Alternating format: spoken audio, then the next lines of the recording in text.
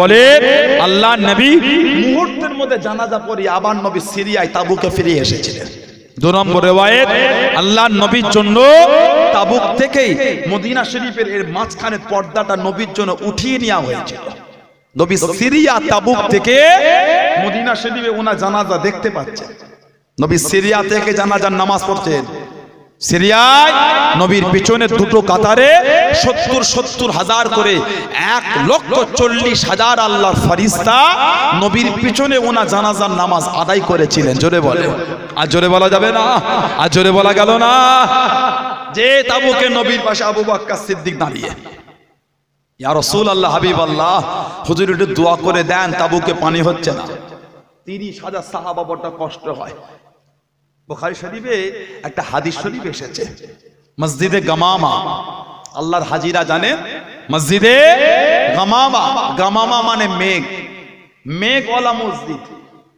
আল্লাহর হাজি যারা আছে জানেন, পুরো নাবাবি শরীফের সাথে জুড়ে একদম মসজিদ। খাজুরের মার্কেট আছে, মার্কেটে বিলাল রাজি আল্লাহ ওই মার্কেটে যেতে গেলে মসজিদে গামামা। এখন আজান হয়, নামাজ হয় না। এখন আজান হয়, নামাজ হয় না, মসজিদে গামামা গামামা মানে মেঘ। নবী ওই মসজিদে গামামায় জুম্মার খুতবা দিচ্ছে। কামা আরাবি ফকাল ইয়া রাসূলুল্লাহ সাল্লাল্লাহু আলাইহি ওয়াসাল্লাম। একজন গ্রাম্য সাহাবী খুতবা অবস্থায় দাঁড়িয়ে গেলেন। উঠে বললে, ইয়া রাসূলুল্লাহ, হালাকাল মাল। হুজুর, আমাদের মালগুলো সব ধ্বংস হয়ে যাচ্ছে কেন? হুজুর, আসমান থেকে পানি হচ্ছে না। আর আমাদের পরিবার বর্গ হুজুর ক্ষুধার্ত হয়ে গেছে, খিদে আছে। এটা আমাদের জন্য আল্লাহর কাছে দোয়া করে দেন না, যেন পানি হয়। সাহাবির কথা শুনে নবী হাত তুলেছে মানে উঠানো, তুলা মানে হাত মানে দুই হাত। ইয়াদুর মানে এক হাত মানে দুই হাত। ফরাফা দোয়া করার জন্য হাত দুটো তুললেন। জোরে বলে। আর জোরে বলা যাবে না। এখন আমাদের সমাজে নতুন করে একটা ফেতনা এসেছে। কি বলেন তো? দোয়া করব তো হাত তুলবো কেন? কথা বলে না। এটি হ্যাঁ দোয়া করব তো হাত তুলবো কেন? বুখারী শরীফের হাদিস, ফারাফা ইয়াদাইহে। সাহাবারা বললেন ফদুল্লাহ লানা। হুজুর, আল্লাহর কাছে আমাদের জন্য দোয়া চেয়ে দেন ফারাফা ইয়াদাইহে নবী হাত তুলেছেন, দোয়া করছেন আমরা হাত তুলে দোয়া করলে কিছু কিছু লোকের কষ্ট হয়। কথা বলে বেদাত বেদাত। বলেন না। কোথা পেল? তিন দিনের ফোন কেটে চার দিনের মুফতি। বাজে অভ্যাস। বাজে অভ্যাস। একটা হাফেজের জন্য শরিয়াত বিধান দেয় না হাফেজটা ফতোয়া দেবে। শরিয়াতের ফতোয়া? একটা হাফেজের জন্য ক্ষমতা নাই দেবে। তিন দিন ফোন কেটে মুফতি হয়ে গেলে এই তো পাশেই আমাদের উস্তাদ। আমাদের উস্তাদ আমাদের জনাব মুফতি আবুল কাসেম রহমাতুল্লাহ আলাইকে নওয়ারাল্লাহ আলা মারকাদ। আল্লাহ হুজুরের কবরটাকে জান্নাতের টুকরা নূর আল্লাহ নূর করে দেয়। বুদুন আমিন। জোরে বলেন আল্লাহুম্মা আমিন ফুরফুরা ফাতিহা সিনিয়র টাইটেল মাদ্রাসা শায়েখ মুহাদ্দিস সাহেব। আমাদের ফুরফুরা শরীফে উনি মুহাদ্দিস সাহেব রাত দশটা এগারোটা বারোটার সময় লোক ফতোয়া নিতে আসতেন। কথা ভুল বলছি না ঠিক বলছি। ফতোয়া দিলেই হলো। তিন দিন ফোন কেটে মুফতি হয়ে গেলেন। আল্লাহ উনাকে এত বড় বড় আলেম করলেন, এত বড় এলেমের হাস্তি তারপরও হুটহাট ফতোয়া দিতেন না। দু তিন তিন দিন, চার দিন সময় চেয়ে নিতেন, যা পরে আসবে, এখন হবে না। কি বুঝছেন? ফতোয়া দিলেই হলো, তিন দিন ফোন কেটে মুফতি হয়ে গেলেন। আরবি পড়া তো দূরের কথা, বাংলাটাও ঠিক মতো পড়তে পারেন না। এই অভ্যাস কিন্তু ভালো না। নিজেরাই যদি নিজেদের দিনকে অপমান করি, নিজেরাই যদি নিজেদের ইসলামকে ছোট করি, অন্যর কাছ থেকে ভালো কি আশা করছি বলে? ওই ইউপি টেকোটার কাছ থেকে ভালো কি আশা করছেন আপনি? বলে ভারতে মোটা ভাইয়ের কাছ থেকে ভালো কি আশা করেন? দিন কেলে ভালো কিছু করবে? এ আশা করা যাবে? কথা বলে না। নিজেরাই যদি নিজেদের দিনকে ছোট করি, টেকো ভাই, মোটা ভাইয়ের কাছ থেকে আশা কি করছেন? আপনি যদি হাত তুলে দোয়া না করেন, আমাদের রাগ নেই, কষ্ট নেই নাই করলেন নাই করলেন আমি হাত তুলে দোয়া করলে বেদাত বেদাত এই অধিকার আপনাকে কে দিল? বেদাত বলে আমাদের ছোট করুনি বেদাত বলে নবীর আমলকে ইনকার করেছ। কারণ বুখারী শরীফের হাদিস, ফারাফা ইয়াদাইহি আল্লাহ নবী দুই হাত তুলে দোয়া করছেন, জোরে বলে আর জোরে বলা যাবে না? তাবুকে পানি হয় না। আবু বাক্কা সিদ্দিক নবীর পাশে। তাআলা। আর এক পাশে আবু রাদিয়াল্লাহু তাআলা। হুজুর একটু দোয়া করেন। আবু হুরায়রা হুজুর বলে হুজুর বড়টা খিদে লেগেছে খাবার কিছু আছে?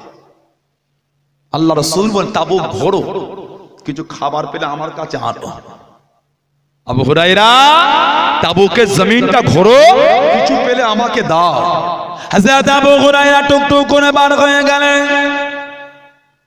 ও যুবকেরা ও আমার মুরব্বী বাপেরা কে আল্লাহ নবীর সামনে দাঁড়িয়ে গেলেন, আল্লাহ নবীর কাছেতে দাঁড়িয়ে গেলেন, চোখ ভরা পানিলে কেঁদে কেঁদে জানিয়ে দিলেন, ইয়া রাসূলুল্লাহ হাবিবাল্লাহ, ইয়া রাসূলুল্লাহ হাবিবাল্লাহ, আল্লাহ পাকের নবী হুজুর বিয়াদি মাফ আপনার জবান থেকে যা শুনি, আপনার জবান থেকে যা শুনি, হুজুর আমার মনে থাকে না, হুজুর আমার মনে রইল না, হুজুর আমি সব বলে যাই। আল্লাহ নবী হুকুম করে দিলেন, ও বাবা বউ ঘুরাইলাম চাদরখানা বিছিয়ে দাও, চাদরখানা খুলে দাও, চাদরখানা বিছিয়ে দাও। আল্লাহ নবী নূরের গাত কানালেন ওনার সিনাতে রেখে দিলেন ওনার বুকেতে রেখে দিয়ে আল্লাহ নবী সাহাবাদের জানিয়ে দিলেন, ও বাবা বউ ঘুরাইলাম চাদরখানা জড়িয়ে নাও, চাদরখানা পরে নাও।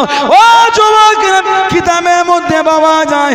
এতেকালের আগে পর্যন্ত আল্লাহ নবীর নূরের জবান শরীফ থেকে যা শুনেছেন একটা কথা বলে না জনে বলুন, সুবহান। আল্লাহ নবী হুকুম করে দিলেন, তাবুকে জমিন করো বাবা, তাবুকে জমিনে খোঁজো বাবা, খাবার কিছু পাও কি বাবা? আমি নবী আমাকে দাও বাবা, আমি নবী আমার কাছে আনো বাবা। হাসাত আবু গুরাইরাম যদি আল্লাহ খুঁজে খুঁজে খুঁজে খুঁজে একুশ খানা গেজর আল্লাহ নবীর সামনে দিয়ে দিলেন, আল্লাহ নবীর কাছেতে দিয়ে দিলেন। আল্লাহ নবী একুশ খানা খেজুর নিয়ে একটা থলের মধ্যে ভরে নিলেন, একটা থলের মধ্যে ঢুকিয়ে নিয়ে আল্লাহ নবী বরকতের দোয়া করেন, আল্লাহ নবী হুকুম করে দিলেন, আল্লাহ নবী হুকুম দিয়ে দিলেন, ও বাবা সাহাবারাম, আমার সাহাবাদের ডাকো বাবা, আমার সাহাবাদের ডাকো বাবা, ও যুবক করে করে আল্লাহ নবী খেজুর খেজুর খানা বন্টন করে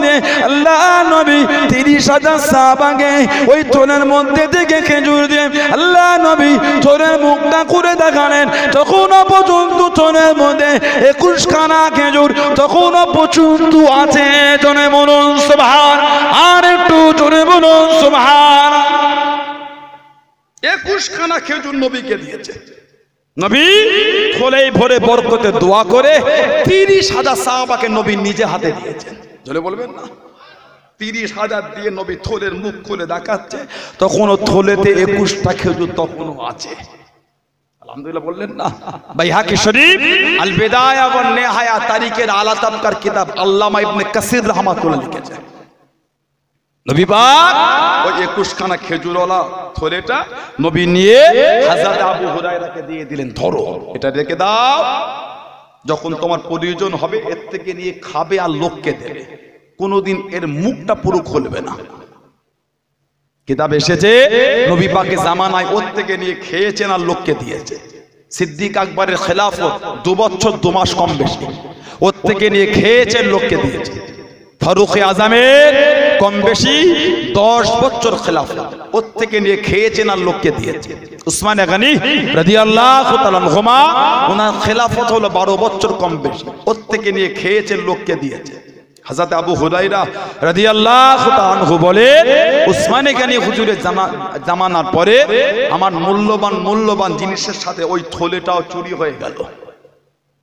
কিতাব এসেছে, কম বেশি দেড় হাজার মন খেজুর ওই থলে থেকে খেয়েছেন আর লোককে দিয়েছেন দেড় হাজার মন, জোরে বলে আর জোরে বলা যাবে না, নবী দিলেন কটা? একুশটা খেজুর নবী দিয়েছেন। দেড় হাজার মন খেজুর ওর থেকে নিয়ে খেয়েছেন আর লোককে দিয়েছেন। জোরে বলুন না, সুবহানাল্লাহ। সেই নবীর ভালোবাসা, তবেই তো মোমেন। তবেই তো মোমেন। যে তাবুকে যাবার আগে নবী সাহাবাদের কাছে সাহায্য চেয়েছিলেন। সাহায্য চার কিছুদিন আগে উমারে ফারুকের কাছে অনেক মাল জড়ো হয়েছে, খালি সাহাবাদের মারে নবী যদি একবার মাল চেয়েছে, এত মাল আমি নবীর কদমে দেবো, আবু বাক্কা সিদ্দিক অত দিতে পারবে না। যদি আল্লাহ আজকে আমি আবু বাক্কা সিদ্দিককে হারাবো তার কদিন পরে নবী বলে, বাবা, কে কি দিচ্ছ? দাও আল্লাহ, দিনের জন্য। হাজার তোমারে ফারুক খুব খুশি। টুক টুক টুক টুক করে ঘরে গিয়ে কয়েকটা উটের পিঠে মাল ভরে আমার নবীর দরবার। আসসালামু আলাইকা ইয়া রাসূল আল্লাহ হাবিব আল্লাহ রসুল সালামের জবাব দিলেন, নবী পাক জিজ্ঞাসা করলেন, কি খবর? হুজুর, আমার তরফ থেকে এটা। ওহ, এত মাল? হুজুর, এই কিঞ্চিত পরিমাণ। হাদিস শরীফে এসেছে, আমাদের নবী জিজ্ঞাসা করলে মা আবকাইতুলি আহলিকা? মা ওমান রাদিয়াল্লাহু তাআলা আনহু, বাড়ির জন্য কি রেখে এলে ঘরে? উমর ফারুক বলে, ইয়া রাসূলুল্লাহ, আবকাইতু মিসলা জালিক আবকাইতু মিসলা জালিক হুজুর, এর অর্ধেকটা রেখে এসেছি। মানে যা মাল ছিল, অর্ধেকটা আপনাকে দিয়েছি, অর্ধেকটা ঘরে রেখেছি। নবীর পাশে দাঁড়িয়ে খুব খুশি। আজকে আমার কাছে আবু বাক্কা সিদ্দিক এনেছে। এর মধ্যে নবী পাকের একটা গরিব সাহাবী চলে এলেন। কাঠের কাজ করতেন কাঠ। দু সা গম। দু সা জব গম। আমার নবীকে দিতে হুজুর, আমি গরিব। এবার মতন নেই। নবী দুসা জব গমটা নিয়ে নবী হাতে করে নিয়ে সাহাবাদের মাল যেখানে জড়ো হয়েছিল, নবী গম জবটা নিয়ে ওর উপর নবী ছিটিয়ে দিলেন। দিয়ে বললেন, যাও, সব মালের সাথে তোমার মালটা মিশে গিয়েও তুমিও সব মালের সাথে তুমিও হকদার হয়ে গেলে। জলে বলে জলে বলে, না, সুবহানাল্লাহ। আজকে আমার কাছে আবু বাক্কা সিদ্দিকের রাদিয়াল্লাহু ওহ জানা শান আল্লাহ তাআলা করেছেন। আফজালুন নাস বাদাল আম্বিয়া আবি বকর সমস্ত নবীদের পরে সমস্ত মানুষের উপরে ইজ্জত আল্লাহ আবু বাক্কা সিদ্দিককে দিয়েছেন। জোরে বলেন আর জোরে বলবেন না এতটা শান আল্লাহ দিয়েছে যিনি আমার নবীর সাথে হিজরাত করেছেন। গুহার মধ্যে থাকলেন তিন দিন তিন রাত। গুহাটার নাম কথা বলে না গুহাটার নাম কি বলে? গুহাটার নাম কি? গারে? গারে? জোরে বলেন একটু। কতুলপুরের লোক কথা বলে না। আমার দাদর এলাকার লোক আবু আব্দুল শাহ হুজুর এলাকার লোক। কীর্তি দেখেছ? পাশে আমার আর এক দাদা শুয়ে আছে, জঙ্গল সফিতে। হাজাতে ইসমাইল বগদাদি রহমাতুল্লাহ। আছে না না তাহলে কথা বলে না এলাকার লোক। আজ হবে কি করে? আমার চাচা জানের এলাকার মানুষ আপনারা, আমাদের পীর আল্লামা আবু ফা সিদ্দিকী রহমাতুল্লাহ আলাইকে নওয়ারুল্লাহ আলা মারকাদাহু। আল্লাহ হুজুর কেবলার কবরটা জান্নাতের টুকরা করে দেন। বুঝুন আমি জোরে হলো না। আপনারা তো আমাদের এলাকার মানুষ। এটা তো দাদা হুজুরের দ্বিতীয় বাড়ি। কথা বলে না। এটা হাহু দাও। হবে কি করে? কি বলে? গারে? জোরে বলে। এরা কোরআন শরীফ নাজিল হলো ওই গুহাটার নাম কি? এমনিতে এলাকায় আলোচনা হয় হুজুরা আওয়াজ করে না খালি বাপদাদার গল্প করে। দেখেছ? কোথা টাওয়ার লাগছে বুঝেছেন? পুরপুরা হুজুরা খালি এসে বাপদাদার গল্প করে দু ঘণ্টা। কি আমার দরকার? আমাদের বাপদাদা গুণ আল্লাহর ওলি। জুড়ে বলে। আমাদের বাপদাদুদের দ্বারা আল্লাহ এই জমিনে ইসলামের ঝান্ডাটা তুলেছে ওই তো আমার দাদু শুয়ে আছে। শাহ হুজুর শুয়ে নেই ওনার আব্বাদান শুয়ে নাই। ওনাদের ওসিলায় এসব এলাকায় আল্লাহ দিনের ঝান্ডাটাকে উঁচু করেছে জোরে বলে। আমার দাদুর কথা বললে আপনার জলন হলে জানতে হবে আপনার এখনও ইমান পরিপূর্ণ হয়নি। আপনার ইমানে এখনও গন্ডগোল যাদের রসিল আল্লাহ দিন মিলিয়েছে। কথা বলে না? হাজাতে ইসমাইল হুজুরের কথা বললে যদি কারও জ্বলন হয়, জানতে হবে ওর ইমান এখন পরিপূর্ণ হয়নি। কেন ওনাদের ওসিলায় আল্লাহ এই জমিন থেকে আল্লাহ শেরেক বেদাত কুফরিয়াতকে মিটিয়ে আল্লাহ এই জমিন, সুন্নাতে জমিন আল্লাহ করেছে জোরে বলেন, সুবহানাল্লাহ। আর জোরে বলা যাবে না? ফুরফুরা হুজুরদের কথা শুনলে কষ্ট কিসের? ওনারা আল্লাহর ওলি। সানাউল্লাহ সিদ্দিকে যদি এই বাড়িতে নাও আসতাম ওনাদের কথা তবু বলতাম। আমি এই ফ্যামিলির ছেলে বলে বলি না ওনারা ওলি, সেই জন্য বলি। জোরে বলে খাজা হুজুরের কথা আমরা বলি না। কেন বল খাজা হুজুর আমার দাদু। খাজা হুজুর আমার পদ্মাদু খাজা হুজুর আমার বংশের নাসালে পরে। কেন বলি খাজা হুজুর আল্লাহর ওলি? বড় পীর সাহেব আমার দাদু নাকি? কেন বলি বড় পীর আল্লাহর ওলি? ওলিদের কথা তো বলতে হবে। আল্লাহ যখন কোরআনে বলেছে। সুবহানাল্লাহ বলবেন না? কোনো ভালো না। হিংসা করে। তবে বেশিটা ভালো না। যদি আমার সাথে কোনো দ্বিমত থাকে, মনের দ্বিমত করে নীতির দ্বিমত করো না। নীতির দ্বিমত হলে কিন্তু গন্ডগোল। আমার ভাইয়েরা বাপজাদেরা ছেলেরা, যুবকেরা, হিজরাতে রাতে নবী যে গুহাটায় ছিলেন ওই গুহাটার নাম ছিল গারে সোর, গারে হেরা না কোরআন শরীফ নাজিল হলো, ওই গুহাটার নাম ছিল গারে হেরা কোরআন শরীফ নাজিল হলো, ওই গুহাটার নাম ছিল গারে হেরা। আর হিজরাতের রাতে যেই গুহায় ছিলেন, ওই গুহাটার নাম ছিল গারে সৌর। পাহাড়টার নাম হলো জাবালে সুর বা জাবালে তুর। তিন দিন, তিন রাত নবী ছিলেন। মক্কা শরীফ থেকে বার হয়েছিলেন রাতের শেষ অংশে। গুহায় পৌঁছেছিলেন দুপুরের একটু আগে। কি খেতেন তিন দিন, তিন রাত? হাদিস শরীফের কিতাব এসেছে দুপুর বেলা আবু বাক্কা সিদ্দিক রাদিয়াল্লাহু তাআলার রাখালের উপর হুকুম ছিল, বকরি চড়াবার নাম করে তুমি বকরিটাকে গোয়ার সামনে নিয়ে যাবে। নিয়ে গেলে বকরির দুধ দহন করে পাত্রে রেখে দিতেন, উনি আবার বকরি চড়াবার বাহানা করে ফিরে আসতেন। আবু বাক্কা সিদ্দিক আনহু ছোট ছোট পাথরগুলোকে ভালো করে ধুয়ে পরিষ্কার করে রোদে রেখে দিতেন। আহা, ওই পাথরগুলো যখন রোদের তাতে গরম হতো, ওই পাথরগুলোকে নামিয়ে দুধের পাত্রে দিয়ে দিতেন।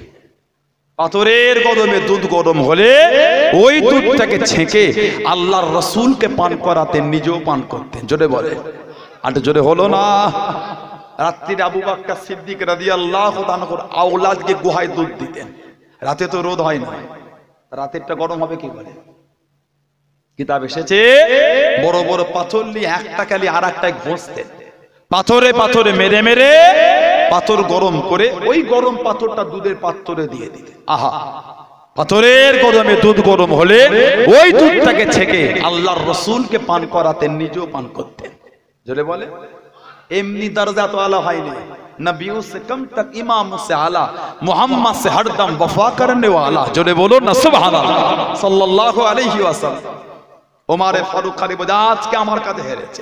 আমি নবীকে কত মাল দিয়েছি, আবু বাক্কা সিদ্দিকের আজ নাকি? হযরত আবু বকর সিদ্দিক বাড়িতে চলে গেলেন। যুবকেরা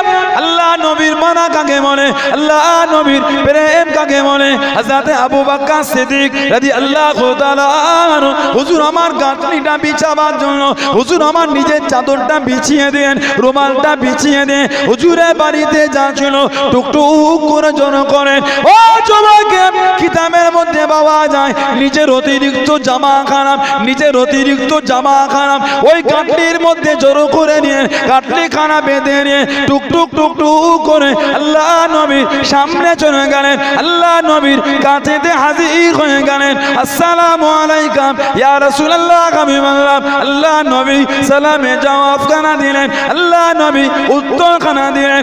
ও আল্লাহ নবী জিজ্ঞাসা করলেন ও বাবা দিয়া বৌমাকান ও বাবা দিয়া বৌমাকান কত মাল দিয়ে দিলেন, কত মাল নিয়ে চলে আসলেন। ইয়া রাসূলুল্লাহ, আমি বললাম ইয়া রাসূলুল্লাহ, আমি বললাম সামান্য মাত্র দিয়েছি, কিঞ্চিত পরিমাণ দিয়েছি। আল্লাহ নবী জিজ্ঞাসা করলেন আল্লাহ নবী জানতে চাইলেন, ও বাবা! জিয়া বৌমাকান মা বকাইতু লি হালিকা মা বকাইতু লি হালিকা বাড়ির জন্য কি রেখেলেন ঘরের জন্য কি রেখেলেন বাড়িতে কি রেখে আসলেন? ইয়া রাসূলুল্লাহ, আমি বললাম ইয়া রাসূলুল্লাহ, আমি বললাম আল্লাহ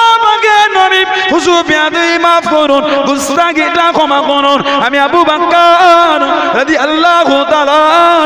আমার বাড়িতে যা ছিল আমি আবু আনহু, আপনার কদমে দিয়ে দিয়েছি আপনার সামনে দিয়ে দিয়েছি। আবু কাইতুল হুমুল্লাহ গাবা রাসূলাহু আবু কাইতুল হুমুল্লাহ গাবা রাসূলাহু।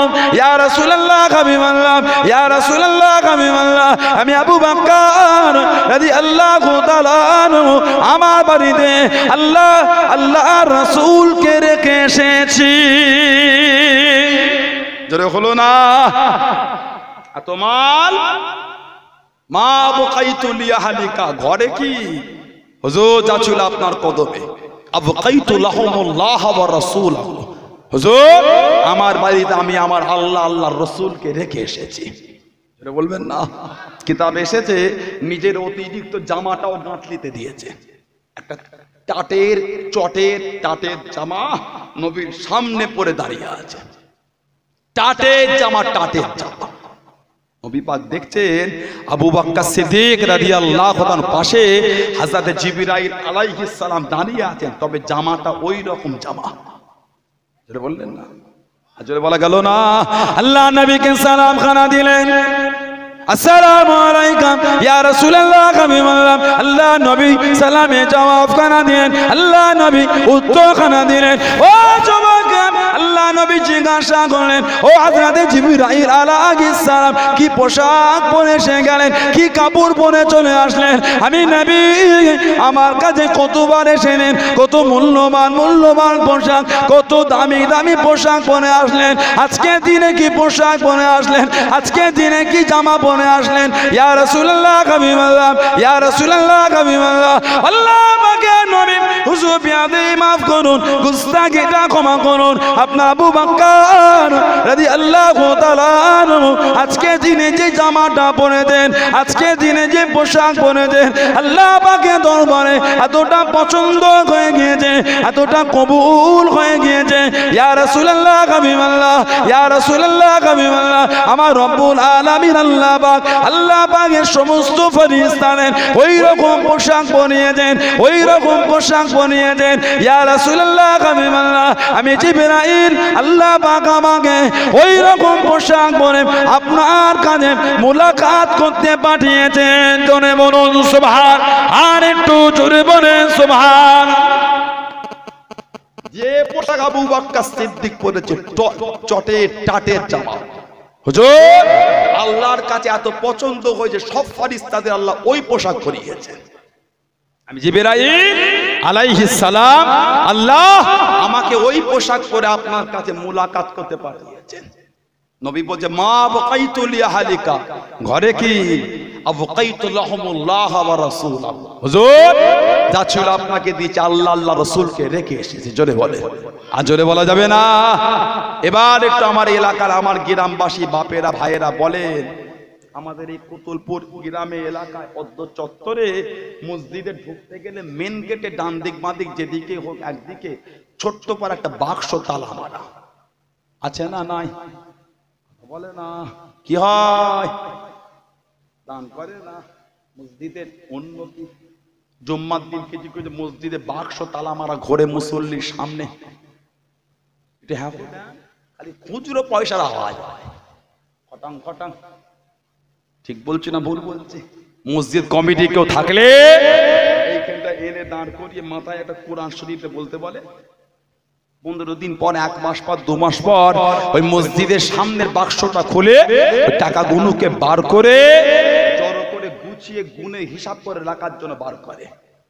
যখন বার করে জড়ো করে না ওই টাকার মধ্যে একটা দুটো পাঁচটা সাতটা দশটা ছিঁড়া নোট কাটা নোট বেরোয়। কাটা কাটা। বল বললাম। কে দিল? কতুলপুর এলাকার জেনগুলো না ভূতে এলাকায় অনেক জেন আছে। সত্যি আছে। সত্যি আছে আমি এটা আর কি না সত্যি আছে। বলে? ওই জেন কোন মসজিদে কাটা নোট দিল। কথা বলে না। কে দিল? আমাদের মধ্যেই কেউ পারলে। কষ্ট হলো না। মায়া হলো না মায়া। আল্লাহকে ভয় এলো না। কতুলপুর এলাকার ছিঁড়া নোটে চা হয়। চা চা কথা বলে না ছেনা নোট চলে। চা কে যদি ছেঁড়া নোটটা দেন নেবে তাই কাজ করতে পারেন ছেনা নোটে চা হয়। যা ভালো নোট দে। নোট একটু ময়লা পারা হলে নাই না? নোটটা ময়লা পারা হলে নাই না? নতুন চকচকে দে। ওই ওই ওইটা দে। কি নোট লাতা পাড়া করেছিস তুই? ভালো করে দে। কি বলে? যদি বলে এই ছিঁড়া এটাইলে আর নেই। গ্রামের ছেলে কি বলব, কালকে দিয়ে যাবি? কালকে না যাবে আজকে মিটা গ্রামের ছেলে, তোকে ফ্রি খাওয়ালাম তো ছিঁড়া নোট আমি লোবো না। সব ফলওয়ালা সবজিওয়ালা মিষ্টিওয়ালা, টোটোওয়ালা, অটোওয়ালা, রিক্সাওয়ালা, বাসওয়ালা ছেঁড়া নোট চলে। কথা বলে এলাকায় চলে। মুসাফিরটা নাই। ফকির ফকির। কালকে দিয়ে দেখবে, দশ টাকার কাটা নোটটা, ও কি দিলে? এটা দিলে দাও, না দিলে না দাও। ছিঁড়া দিও না, আমি গরিব মানুষ, ছিঁড়া কি করব? কথা ভুল বলছি না ঠিক বলছি? নেবে। মুসাফিরটাকে ছিঁড়ানোর দিয়ে দেখবেন, মুসাফিরটা নাই না। চাওয়ালা নিল না, সবজিওয়ালা নিল না, অটোওয়ালা নাই না, টোটোওয়ালা নাই না, বাসওয়ালা নাই না, মিষ্টিওয়ালা নাই না ফলওয়ালা নাই না, সবজিওয়ালা নাই না, কাপড়ওয়ালা ও নাই না। মুসাফির, ওটাও নাই না। টাকাটাকে গুড়িয়ে গুড়িয়ে মসজিদের গেটের বাক্সয় দিয়ে ঠেলে বলে আল্লাহকে দে। নাউজুবিল্লাহ বলে? হলো না। হাসি লাগছে? আমাকেও লাগছে, আপনাদেরও লাগছে। ভেবে দেখেন তো কত গভীরের কথা এটা। বলে, কোনোদিন ভেবে দেখেছি কি মতো যদি আল্লাহ আমাদের নামাজটা ফিরিয়ে দেয়, এ নামাজে নাজাত হবে না, ভালো নামাজ থাকলে কি আমাদের জোগাড় করে আনো। কিয়ামতে যদি আল্লাহ আমাদের রোজাটা ফিরিয়ে দেন, রোজা, এ রোজায় তোমার নসিবে নাজাত নেই, ভালো রোজা থাকলে জোগাড় করে আনো। পারব তো ছেড়ানোরটা মসজিদে দিলেন। মসজিদে দান না করলে কাফের হবে না। মসজিদে কেউ যদি দান না করে সে কাফের নয়। ছিড়া দিলেন ছিড়া পারলেন। ইমানে কোলন আমাদের ওটা। আয়নার সামনে দাঁড়িয়ে নিজের মুখটা নিজে দেখবেন নিজের মনকে প্রশ্ন করবেন আপনার ইমান কেমন? মন বলে দেবে আমি বলতে পারব না। দেখবে? আমাদের এলাকায় ছোট এক টাকার পয়েন্টে চলে ছোটটা। বাকিগুলো বাদিয়ে দিলাম মুসাফিরটাও নেবে না। বাকিগুলো বাদিয়ে দিলাম মুসাফিরটাও নেবে না। দিয়ে দেখবে বলে সাথে অচলটা দিলে। পাগল দু হাজার সতেরোর স্টাম রে বলে অচল। চকচকে বলে অচল। বড় পড়াটা দাও ছোট চলে না। হ্যাঁ কোটা বেশি জেদাজিদি করলে না মুসাফির নিজের পকেটে হাত গলিয়ে ওরকম খুঁজে খুঁজে পাঁচটা বার করবে। আপনার পাঁচ আর ওনার পাঁচ পাঁচে পাঁচে মিলিয়ে দশ। চাচা দিলে পাঁচটা আমি তো আমাকে দশটা দিচ্ছি। তোমার টাকা আমার লাগবে না। মসজিদ কমিটি কেউ থাকলে এখানটা দাঁড় করিয়ে মাথায় কোরআন দিয়ে বলতে বলেন, যত ছোট এক টাকার কয়েনের আড্ডা মসজিদে বাক্স। আস্তাগফিরুল্লাহ বলবেন না। নাউজবিল্লাহ হলো না। মন কাঁদে না। আল্লাহকে ভয় আসে না। আল্লাহর ভয় এলো না। কুতুবপুর এলাকার ষোলো আনা কবরস্থানে গিয়ে দেখেন, সব কাতারে কাতারে শুয়ে আছে। আমরাও গিয়ে একদিন তানাদের পাশে শোবো। সমাজের কবরস্থানে গিয়ে দেখে কিছু কিছু মুর্দার কবরের বাঁশগুলো ভেঙে ঢুকে গেছে। মাটি দিয়ে ভরাট করারও কেউ নাই বালু দিয়ে পূরণ করারও কেউ নাই। এক্ষুনি গিয়ে উঠে টুক করে লাইটটা মেরে ঘুরে আসে। কিছু কিছু গর্ত কবরে গিয়ে দেখবেন শিয়ালগুলো ওই গর্ত কবরে ঝুপড়ি মেরে বসে আছে। এক্ষুনি গিয়ে ঘুরে দেখে আসে। একদিন আমাদের কবরের বাঁশটাও ভেঙে যাবে। একদিন আমাদের কবরের গর্তের মধ্যে শিয়াল লুকিয়ে থাকবে। বালু দিয়ে ভরাট করারও কেউ থাকবে না মাটি দিয়ে পূরণ করারও কেউ থাকবে না। ভয় হয় না। চোখে পানি এলো না মন নরম হয় না সেই গুণা সেই অন্যায় সেই পাপ। বিগত কয়েক মাস আগে লাশ গোনার লোক ছিল না। কি বলছেন আপনি আমাকে? লাশ গোনার লোক ছিল না। জানা যায় লোক হওয়া কমে গেল। মসজিদের মাইকে হাঁকা কমে গেল। বন্যা ঠিক বলছি আমার কথায় কষ্ট না আপনারা। আমার আলোচনায় দুঃখ নিচ্ছে। আমি কাউকে কষ্ট দিতে আসিনি। ভেবে দেখেন তো, কত কঠিন দিন আমাদের উপর দিয়ে গেছে। বাপের লাশ, বাপের খাটিয়া ছেলে কাঁধে তোলে ভয়ে। গোসল দিবার লোক পাওয়া যাচ্ছিল কবরে নামবে? তুই নামো তুই নাম। কবরে নামার লোক নেই। আত্মীয় স্বজনগুলো ফোন করছে, এখন যাব না। হাওয়া ভালো না, পরে যাব। এখন যাব না। পাশের বাড়ি থেকে ফোন করে দিচ্ছে আসিস নি আমার পাচির আর ওর পাচির এক পাচিরে ঘর।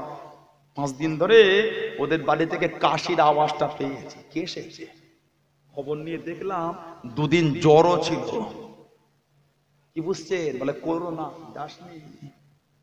লাশে হাত দিসনি, সেই পঞ্চাশ হাত দূর থেকে। বলে, দেখতে পাচ্ছি। কোনোদিন ভেবে দেখেছি?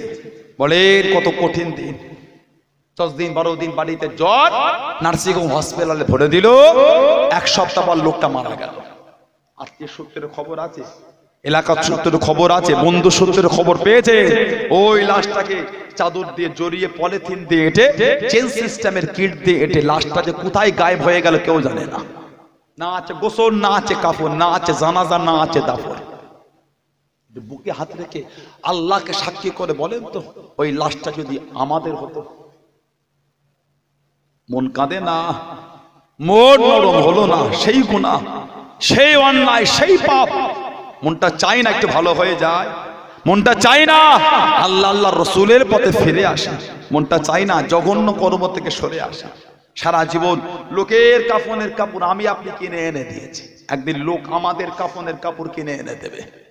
কথা বন্যা ঠিক বলছি। সারা জীবন মসজিদের লোকের নামে শুনে অমুকের অমুক মরে গেল চ জোহর করে জানাজা। চ চ, একদিন আমাদের লোক মরণের কথা শুনে আমাদের জানাজা পড়তে লোক যাবে। সারা জীবন লোকের লাশ গোসল দেবে বলে কুল গাছ, বয়ের গাছের পাতা পেরে হাঁড়িতে দিয়ে কুসুম কুসুম পানি গরম, লাশ গোসল হবে। একদিন আমাদের লাশ গোসল দেবে বলে লোক পানি গরম করবে। সারা জীবন লোকের লাশ কাফন দিয়ে জড়িয়ে খাটিয়ায় তোলে একটু কপ্পুর একটু গোলাপ পানি, একটু আতর, খাটিয়া কাঁধে তুলে জানাজা জায়গায় রেখে জানাজা পরে এটা ইসালে সব সবরে সানি করে আবার খাটিয়া কাঁধে তুলে পাগুনে পাগুনে কবরস্থানে নিয়ে গিয়ে কবরে শুয়ে গুনে গুনে তিন মুঠো মাটি দিয়েছে।